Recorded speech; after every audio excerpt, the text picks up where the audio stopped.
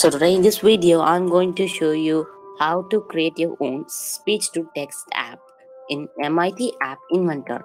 So till now in our channel, we have shown how to develop your own app with the help of Thunkable Drive. So in this video, in we are going to learn about a new platform named MIT App Inventor. It's also like Thunkable only.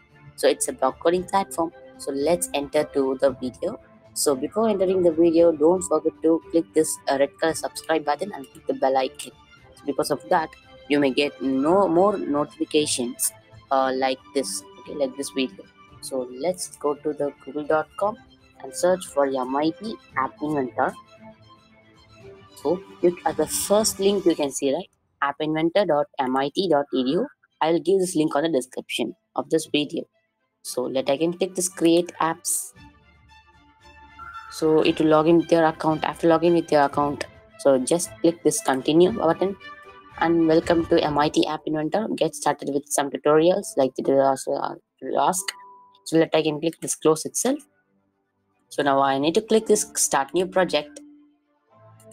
So this project name is going to be speech to text. Speech to text. Speech to text. Okay it's right I can keep this T as a capital letter text. Yes. After setting your name, just click this OK because of that it will create a project for you.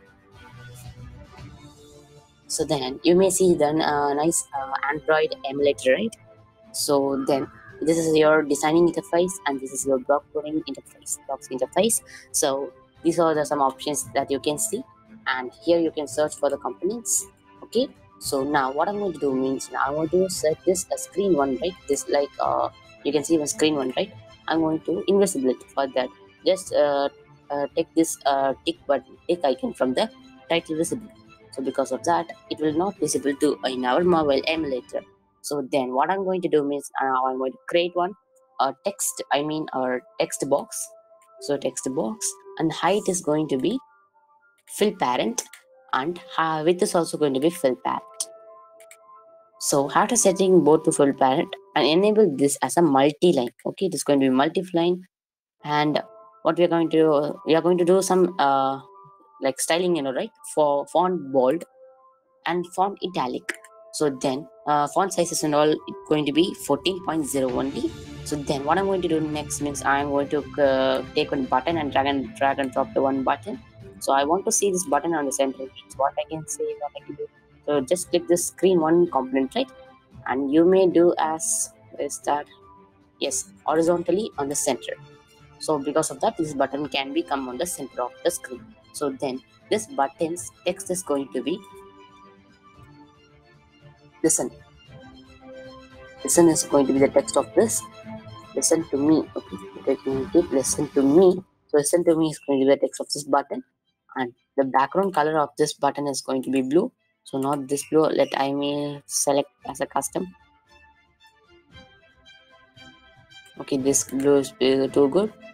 So you may i can continue with that. And the text color is going to be white.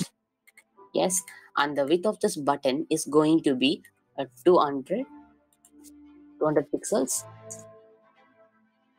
Okay. So then this uh width is going to be 200 pixels. And what I'm going to do next means I'm going to uh, drag and drop one uh, invisible component named is a media section. Yes, it's just inside this media section.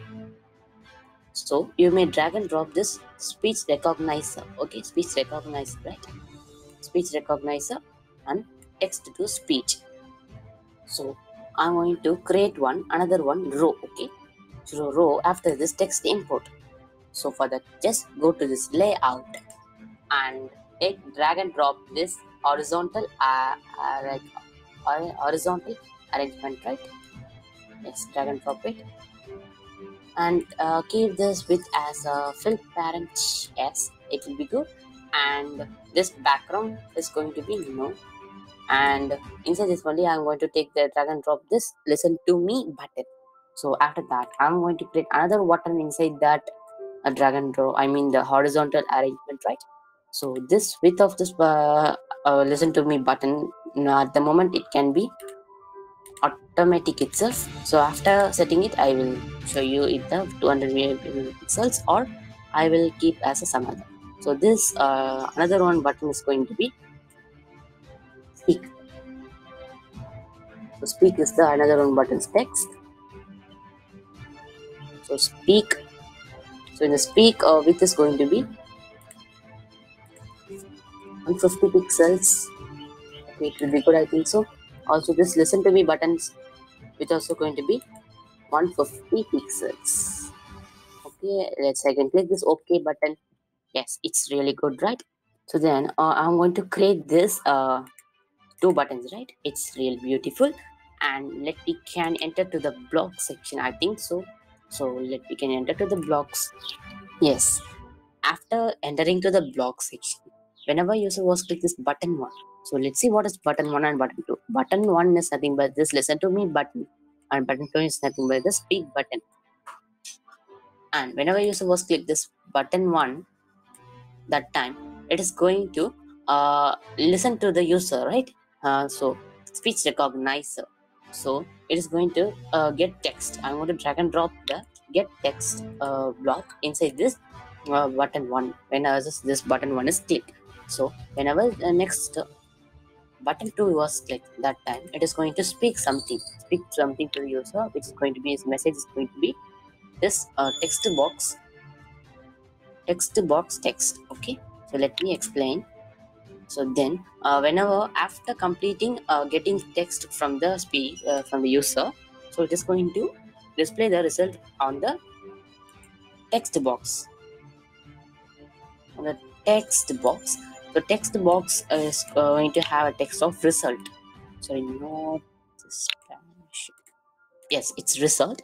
So now whenever user was click this button one means it is going to get text from the recognizer it is going to start the recognizer. And whenever it was after getting the text from the user after listening to the user then it's going to uh, display on the text box one. I just a text box right? Big text box and it's going to have a text of result of our text i mean text of the user and whenever user was click this button 2 which is a speak button so that time it is going to speak to the user what is in the bar text box. So let me test our app now. Result. So if i click this listen to me button means okay what is coding? So it is displaying on the text box right? So whenever i click the speak Okay, what is coding? Okay, what is coding? i think you can listen what is uh, saying to me that okay what is coding what is inside this text box even directly i can type that hi like this so after if i click this speak Hi, so it is speaking me hi it is speaking me like oh, hi hi. Yes, this is how our app is going to work. Don't forget to try this app with your device. So if you have a laptop one. So don't forget to subscribe to Rishe Apps YouTube channel. So click the bell icon and I will publish more videos like this. So thank you. Let's meet on the next video.